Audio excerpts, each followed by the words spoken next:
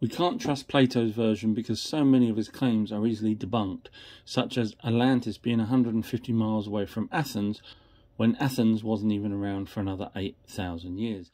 Same for the name of the Pillars of Hercules. He didn't arrive until 8,000 years later. But we can say a few things ring true. 1. City built in circles. We know the Anunnaki did this. 2. It was sunk. Emerald tablets of Thoth agree with this. 3. Some of the people from Atlantis went to Egypt. Emerald tablets of Thoth also agree with this. They are the only things we can say for sure. Everything else is made up as a huge story, as I've proven in my previous videos. So, where do I think Atlantis is? I believe it is here. The reasons why are Number one, the name Heracleion was given to the sunken city because divers found one tablet with that name on. They found other tablets with that name on, but because Heracleion was mentioned in another tablet found in Egypt, they assumed it was that city. Number two, researchers have agreed it was a city that sank, and that they say that 64 ships sank at the same time. Number three, the majority of it was sunk Researchers state the hard clay turned rapidly into liquid and the buildings collapsed into the water.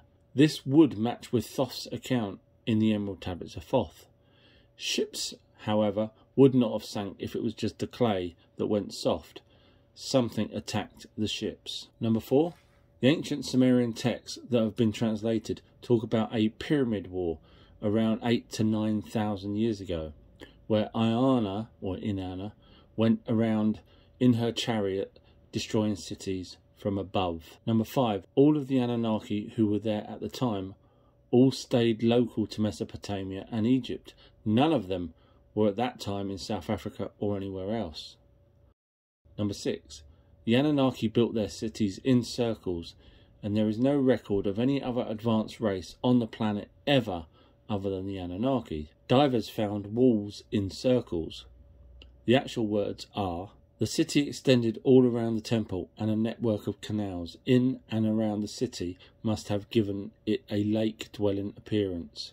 Number seven. Ningazida, who was the Anunnaki that designed the pyramids, see Lost Book of Enki and Emerald Tablets of Thoth, built Atlantis, and being the master builder he was, Atlantis would have been more sophisticated than the other cities. Ningazida, Thoth, was also warned off Atlantis before Iana attacked, trying to kill Marduk. He left and took his Anunnaki tech with him to Egypt.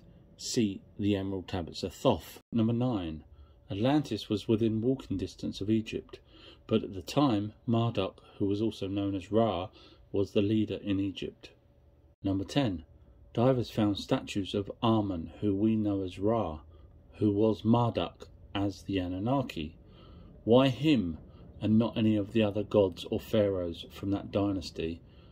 Number 11. The great temple at Thonis Heracleion was that of Kernush-nu Thoth, as we call him. Number 12. Plato said that to get to Atlantis you need to go through the Pillars of Hercules. However, we know they were not called that 9,000 years ago, but where Plato is talking about is an actual place later named that the place you would have to pass through to get to Heracleion.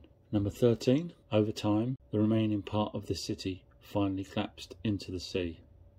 Number 14. Heracleion is now actually informally known as Egypt's Atlantis. I am turning off the comments on this video because I've learned that people who have not seen my other videos will try and make me look silly, when in fact I've given all the information they would need throughout all my previous videos and they won't be bothered to go back and watch them. So I'm not going to spend my time replying to questions that I've already answered within my other videos. There are more reasons why I believe this is the place and I'll do a longer video on my Patreon page. Thank you for watching.